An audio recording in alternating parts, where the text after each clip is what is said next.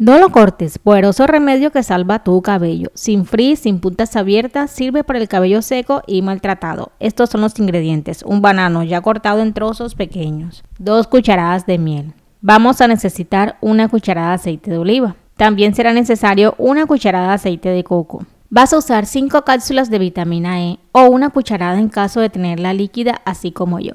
Usarás una cucharada de aceite de argán. Vamos a empezar a batir en la licuadora para que todo quede totalmente homogéneo.